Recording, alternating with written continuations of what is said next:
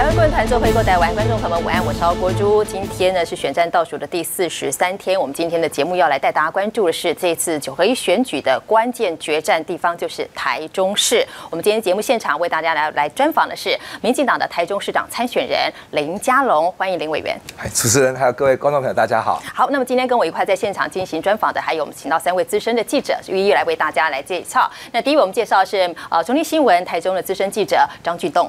主持人还有委员吴安。好，那第一位我们介绍的是中立新闻政治组的资深记者林于桥。各位观众大家好。好，还有我们还请到是中国时报资深政治记者李明贤。大家好。好，那么今天呢，今呃大家最关注的时事话题还在进行式当中，就是食安的问题持续的延烧。那么关于呢魏应冲的一个羁押庭，现在也还在持续的召开当中哦。呃，在我们的这段一个小时专访当中，随时有最新的讯息，我们会在这边同步也带大家来看。不过今天首先还是给委员请教的是，哈，食安问题跟人人都有关系，它不分蓝绿。对，那这个问题现在一路发生到现在，大家总觉得政府的处置就是没有办法让大家恢复信心。魏云冲现在被。约谈到案了，在正在羁押庭在开当中，似乎好像把他压了，问题就可以解决，但其实没有这么简单。实际上，这个结构这次的问题，我们发现它是个结构性的问题，恐怕也不是现在执政党时代就有的，所以这个问题要能够好好的彻底解决，您怎么看？特别是在政商关系这一块，让大家又更加伤心，不只是吃不安全，还有政商关系卡在那边，很难做真的是结构性而且彻底的处理。是，其实食安现在已经变成一个国安问题，嗯，那我们在处理上就必须用国安的一种。标准，好，那从去诊断这个问题的本质在哪里，那到去建立一套组织，然后有效的去啊执行。如果说这个问题，当然从源头管理，嗯，好，包括是食品工厂以及食品工厂进口的这一些原料，嗯，这个上游如果不管控啊，对，好，那就很难处理。第二个是下游的这个稽查，嗯那稽查必须人力设备要到位。那我今天刚开了一个就是石安的记者会，我邀请了李明亮，前抗 SARS 的总指挥，啊，我的石安顾问一起呃举行记者会。那我们提出了几个诉求，就是说，好中央的我们当然哈，就是呃呃不是我们地方直接处理，可是如果要台中来讲，它是最风风险很大、很脆弱，会发生食安危机的地方。其实以前的所谓的这一个多氯联苯事件，虽然它生产在彰化，实际上伤害最大的是在台中。没错。好，好，那这个事情，台中有两千七百间的食品工厂，只有二十七个稽查人员。那这个就是一个人要去稽查一百间哦，是台新北市的十倍，是台北市的一百倍。那虽然这一次。如果从下游来看，我们怎么为了加强稽查的能力预算？好，就是说，如果做一个地方首长，是可能我要在下游的地方强化稽查，然后来提早发现问题跟解决问题。那上游的这一个所谓的呃源流的一个呃管控，恐怕就是中央政府跨部会，因为涉及到海关，好，涉及到非常多的呃政府部门。那这个时候如果单单给卫福部，那显然他没有统合协调的能力。所以这是为什么？哎，我们看到说，哎，马总统。终于召开了国安会议，要来处理这个。是，可是比较让我意外，因为我在国安会待过五年，当过咨询委员也将近四年。嗯就说他的结论是只有所谓的这个呼吁大家要去检举，另外就设立一个食安办公室。对，那事实上我的判断啊，就是说。好像还没有对症下药，好，那有意识的提高到国安城市是对的，因为那影响台湾整个对外未来的整个国家形象，我们的品牌，那个对食品跟我们的产业冲击是非常大。但是怎么样有效的诊断跟应应？嗯，好，我们希望说政府能够展现出那一种效率跟效果出来。对吃的东西，我们这次说不止产业面影响，国家形象被影响，其实国人健康被影响，这恐怕才是更是更长远的一个很伤脑筋的问题。刚呃委员您讲到，因为您在国安会待过，所以您可能在这方有一套的一个作战的一个经验了，特别是在 SARS 期间。所以您刚觉得现在马政府没有对症下药，那什么样才叫对症下药？当然，大家发生问题都想要找一个，就是说，呃，就是呃，就是犯罪者嘛。哦，这个是当然，现在鼎新他确实也是呃祸首。嗯哼。可是，在同时处理这个东西，去厘清真相、追究责任。好，然后去进行各种的一个补救之外，嗯，更全面性的食品的问题，嗯，这只是一个征兆嘛，出现，可背后，好，那台湾有多少的这样的一个就是呃食品原料的进口，嗯，你要不要同步的清查？好，还是发生一件就是在处理一件，那政府的形象就破产，嗯现在是变成了食安的危机，变成国安的危机，变成政府的危机，嗯。变成在解决问题的人形象被质疑，没有公信力。是好，那当然就是因为是涉及到非常复杂的跨部会中央到地方。那我在选台东市长嘛，所以我就有提出说，我要增加台东市的这一个啊这个食安的稽查跟相关设备的人力跟预算。对。好，然后我需要建立一个就是啊食安的一个呃专家顾问的一个小组。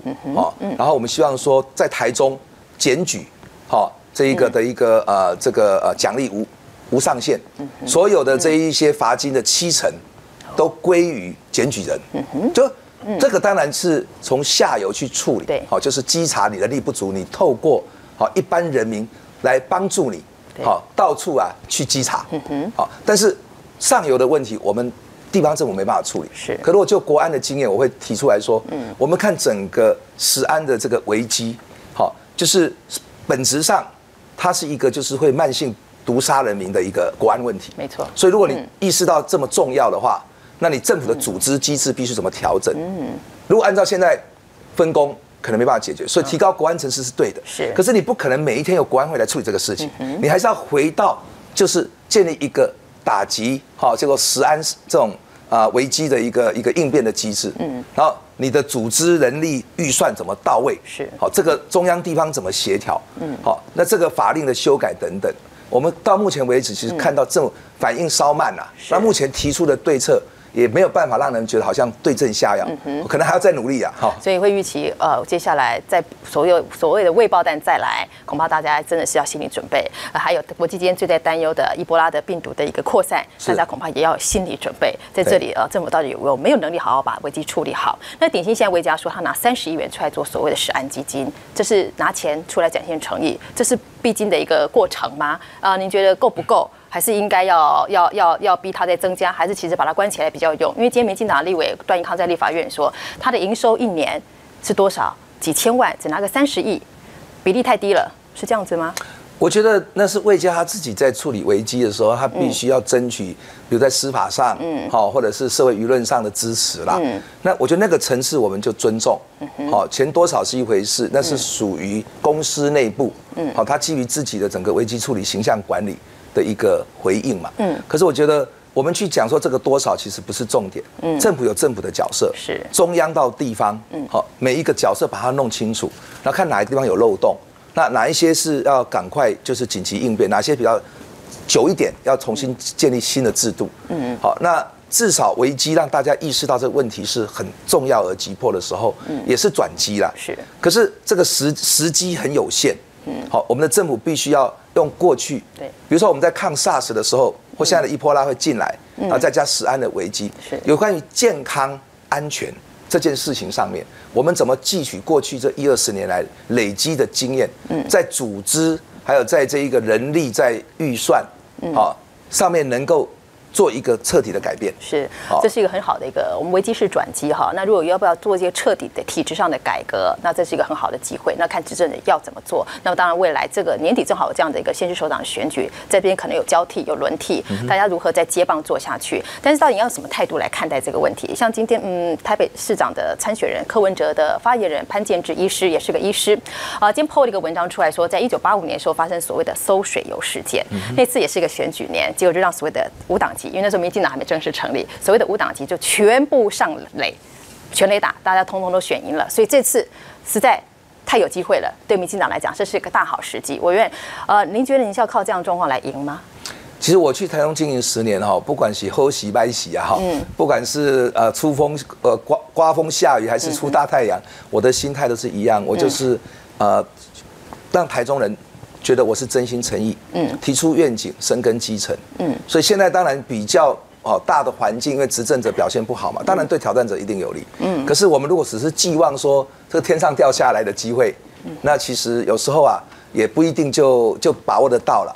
我自己是操之在己的部分，嗯，我自己把它做好，这个最重要，因为选举的变数很多，你怎么知道今天这个事件，明天那个事件？嗯，那如果都一心以为哈。有鸿鹄将至啊，那那那个基本上我觉得失败的机会比较大了。那我自己是到台东经营，嗯，我所下定的决心就是说，不管啦，好外在环境怎么样，嗯，我有办法透过我的努力，争取到市民给我一个机会，是，这个才是我我现在最在乎。其实我我在台中的经营，不是因为啊，就是好选我才去选，或坏选难选我就就就跑掉。嗯，哎。是啊，其实经营有十年之久了哈。那其实您的对手就是现任市长胡志强先生，他也做市长也做到了十三年之久了哈。啊，所以其实大家在这边待的都挺久的哈。我们就带大家来看一看，然后台湾顾问团所做的最新的一个民调，在台中市的选情的部分。而这个民调数字出来，呃，是不是呃，来画面上看到，呃，林佳龙现在是百分之四十八点六的一个支呃这个支持度，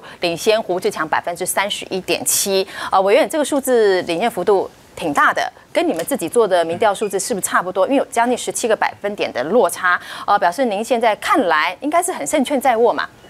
呃，其实没有到投票都不能够大意了哈，因为这个真的是选情，其实可以瞬息万变。嗯，过去也出现过很多就是突发事情哈，可能就是说两岸的问题啦、子弹啦，或是任何的一个危机哈。嗯，呃，担心是不用担心的，就是危机出来之后把。处理好，嗯，其实有时候危机并不一定就对谁有利，而是危机处理，嗯，你能不能展现让人觉得说，哎，你值得信赖，是，好，那这是我自己的专业嘛，那到这个民调倒是跟我们自己在做的也是这半年来都还蛮接近，我们大概自己做，大概都是大概十二。趴到差不多二十趴之间，是。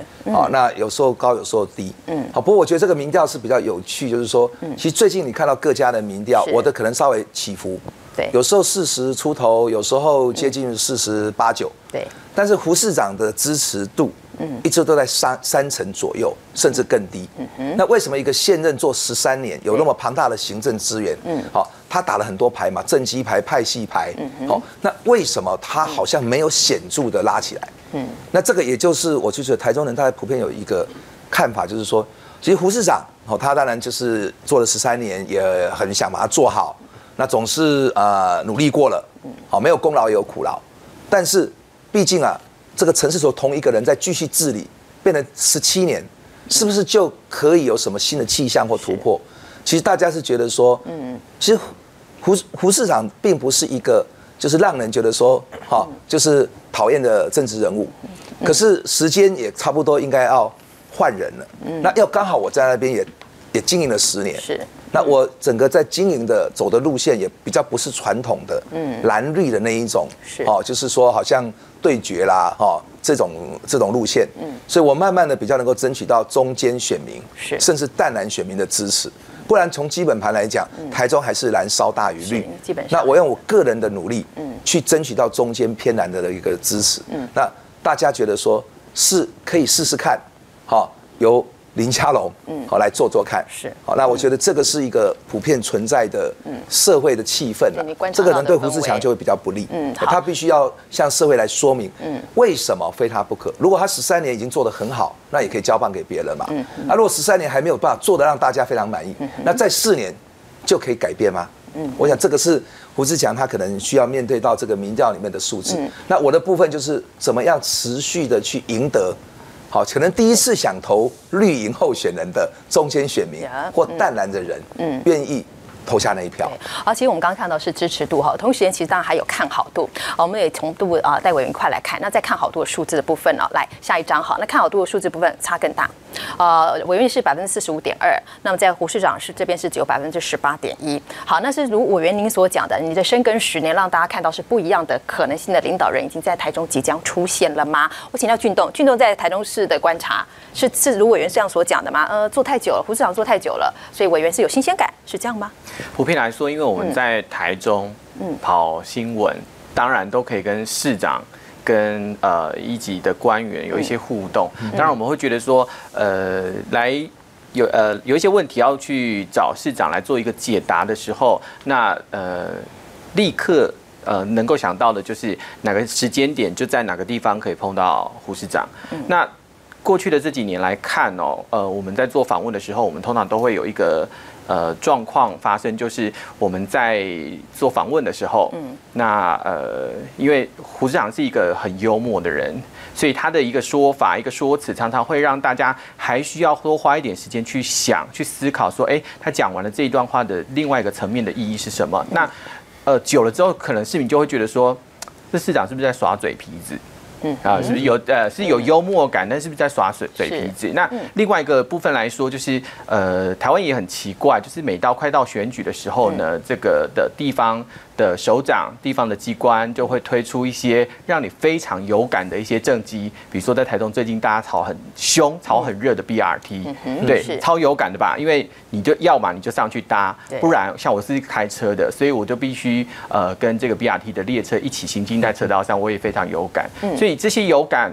在台中的市民看来，有人当然会觉得说，哎，好棒哦，有双轨，呃，有双节的公车是小确幸。但有人会觉得说，好像有点小悲惨，因为车道变更挤，对。所以就说，呃，在我们看来，我们觉得说，十三年的一个时间，当然他会希望能够寻求连任到十七年，嗯，这个资历可能会更完整，那也会在历史上面留下一个很棒的一个记录。不过，呃，普遍市民上来看。大家都会觉得好像似乎有一点点腻的，是，所以会因为这样而支持到呃委员这边来嘛？就运动你的观察。是因为这样，所以整个支持度拉高了。是，嗯，好好是，呃，那这次我们的记者在现场的场子，这阵也是主要在主跑委员哈，在看整个台中市的这几年这个变化，观察到的一个现象。但这个现象，当时呃候选人、参选人自己要有努力，或者你自己做的不够好被检验之外，啊，当我们刚刚讲大环境的问题，还有提出来建设等等的问题。所以今天看到整个赢这么多，您觉得问题是在哪里？呃，BRT 是很重要的，就现在最 hot 大家在讨论的话题而已吗？当然，呃，胡志强做十三年，他的治理模式啊，比较办活动，然后让大家觉得很有趣。嗯，好，就说，可是久了之后，毕竟大台东县市合并升格，有一些基础建设要做。嗯，好，比如说你说十三年盖不出一公尺的捷运，然后长不出一颗巨蛋或小巨蛋，嗯，然后台台我们的河川呐，永远都像臭水沟一样，没有一条爱河或东山河或基隆河，就市民也会去想，嗯，就说没有错。如果我们有一个就是很呃讨喜的市长，我们看了也很顺眼。可是久了呢，就像说你没有面包吃吧，肚子还是会饿嘛。那这一些东西是大家对大台中现在升格啊嗯的最期待的时候。我们如果去看胡市长的十三年，他曾经给我们很多梦想，嗯，但是有点梦破了，好，然后梦也醒了。比如说他提到古根汉美术馆，他第一次竞选市长的时候最大的一个证件，嗯，那跳票了嘛。第二次他提到。要有国际会议展览中心，嗯，好，那最后变成一个法律争议，还打输官司。第三次他说哦，七条捷运写在选举公报上哦，就选后突然跑出一个 BRT。嗯，在两年前，我想不要说台台湾人，台中人也没有听过 BRT 是什么，然后他就开始哦说 BRT 哦会救台中的交通。嗯，那你就觉得那如果那么重要，为什么十三年前你不开始做？嗯，那如果你用这个精神来看的话，就是说因为冲促上路，然后又。变成说来解决他捷运跳票的替代方案的时候，其实人们会想嘛，嗯，就说这个有这么伟大吗？是，那你把它膨胀的那么伟大，人们就会检验你嘛。那这个落差大，嗯，所以我觉得胡志强是被胡志强打败的，所以他给大家非常多的希望，嗯，可是失望了。是，那我是让台中市民会觉得说，我虽然失败过，但我不气馁，啊，我一步一步的来争取市民的认同，嗯，那所以。有一点说此消彼长，在十年前我要去说服台中人说啊，请相信我，给我一个机会的时候，人家请空降的，我们怎么知道你选输选赢会怎么样？嗯，可是十年后的今天比较水到渠成，是。很多人就说总是嘛哈，借狼就西咩，哦啊酸叔啊不照，好，我们这十年来看到他在各种的活动里面，好，包括提出很多愿景，就大台中三手线，好那些我们都在推动了，好，而且就是现在胡市长也认同，那人们就会去想啊，那早知哈。如如此何必当初？那十年前就由我来做就好了。嗯，或者十年前胡市长，嗯，好，他当时是反对嘛。嗯，那他现在转而去支持，所以其实市民其实时间久了，其实大家会回到一个很很根本的问题，不是印象的问题，嗯，而是说这两个人，一个已经做的比较久，而且他能力都差不多，好，已经尽量了啦，哦，再勉强也不一定能够有什么改变。另外一个是好这么有心。好，那我们是不是试试看？嗯，总是林佳龙如果当选做不好，四年后哦，我还要面对要连任的压力哎。嗯，可是胡市长他如果当选的第四届，嗯，他也不能够再连任了，他就没有压力了。嗯，所以很多市民是基于蛮理性的啦。这样的思考，我是觉得，嗯，李超，你看呢，呃，试试看，台中人需要这样试试看吗？对。可是其实应该这样讲，就是说，我刚刚我们看到了民调哦，最近在最近应该前两天吧。台湾指标民调也公布了一个最新的民调，那那个民调里面，其实委员大概拿下，我印象中没有错，他三十二，嗯，胡市长是二十九，其实两个相差大概二点四左右。嗯，那是不是在这方面，因为因为这民调数据落差太大了，我不知道是不是说在台中市的明星上面，你自己怎么掌握的？是不是说像刚刚讲 BRT，BRT 某种程度虽然说大家一开始怨言蛮多，但是我看每一次 BRT，我自己在台中看过，但 BRT 也是班班客满，所以在交通问题上，事实上是不是也有点发酵，或者说另外？在台中县，因为台中市现在不止台中市嘛，还有台中县。在台中县的部分，是不是委员这个部分是好像国民党听似乎已经开始整合啊什么的，让这个民调是不是有上了？你自己在现场怎么在在台中市怎么样去观察？另外说怎么样迎战？其实台湾指标民调它做了很多题啦，嗯有支持度，有施政满意度，然后等等。那它总合起来是呃预测我赢七趴到十八趴啦，所以跟这个大体上也没有太大的差异。那纯粹就民调本身，因为它的回答率比较低，因为三十二比二十九，加起来只有六十一。那一般的调查大概各家大概都有七八成，所以就是比较特别哈。这一次做的时候，这个台湾指标民调我是相对拉低。好，那我们自己每每个礼拜都做，好，应该是说。我们都维持两位数字的领先是蛮稳定，并没有太大的起伏。嗯，那就是说，在整个台中这个胡志讲的一个选情啊，嗯，他大概打几个牌嘛？第一个正机牌，嗯，可正机牌他用的 BRT，其实根据民调甚至有台很多的一个报告，其实 BRT 并没有让人民感觉改善交通。刚刚雨桥提到说搭的人不少，那是为什么？因为原来走台湾大道的是公车嘛，每一天有四万五千个人次，他现在把你公车取消到剩下三班嘛，所以迫使这些人一定要坐 BRT，所以 BRT 每一天四万人是从公车转移来 BRT，不是新增的通勤人口，是。这个问题，就是他没有根本的解决。但是呢，因为你 BRT 占了两个车道又两个车站，对，那么使得这一些机车啊。他被排挤到巷道，嗯，或很多人就干脆不开台湾大套了，因为会塞车。是，所以我是说，嗯，有没有治本？好，就是说，如果台中不做轨道运输，包括三手线捷运，是，那你去用这个 BRT 有没有办法解决台中交通？我认为是没有办法根本解决，它只能辅助性的，嗯，去有一些转运的路路网用 BRT，嗯，好，而且要做 BRT，哦，也不是现在这种半套的，还要停红绿灯。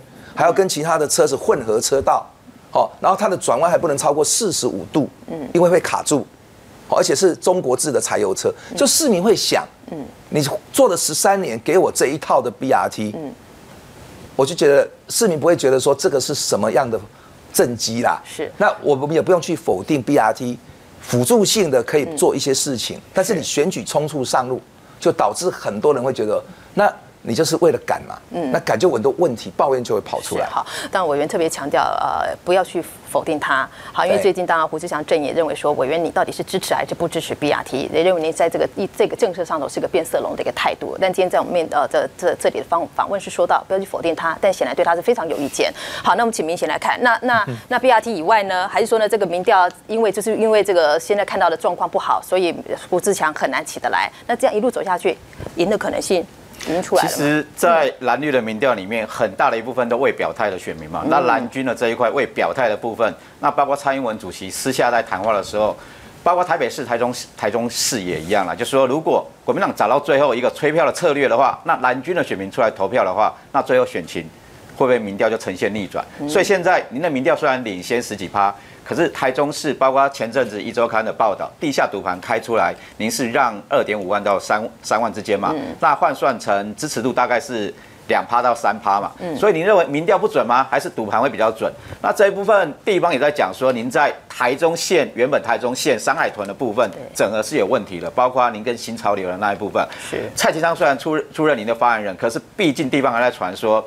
如果委员您当选之后，市长就是八年，那蔡启昌八年就没有机会。这一部分地方整合会不会成为也是您的一个罩门？是。其实，在民进党里面的政治文化啊，嗯，你即使有初选，那选完了支持者希望团结，大体上，好，我们我们是应该说空前的团结啦，哈。以在台中这个地区，新潮流跟非新潮流，过去有很多严重的派系啊，这个之争，现在大概都很团结。好，那我也很感谢。嗯。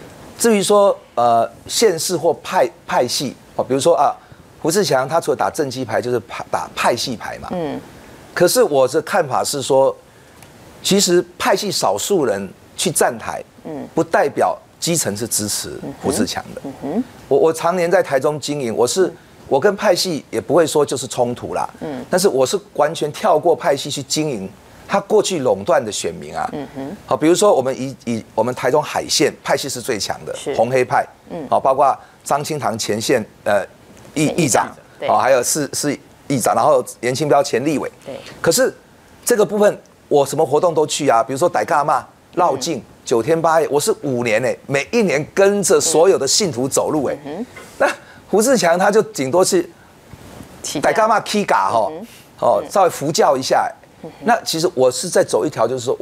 对方走不到的地方，我就拼命的深入。嗯，所以慢慢的这个效果，随着选举接近之后，各个方面的风评都出来说啊，林佳龙看得到人。嗯，哦，那以后选举他上了也找得到人。是好，这一种亲近性，嗯，是胡志强他做不到的。好啊，好，那但是呢，这个所谓的委委员刚刚讲到，你做的是不一样的选举的模式了，你跳开了派系，你亲自下去了哈，所以今天看到有人新新闻民调认为说，这恐怕是空气票。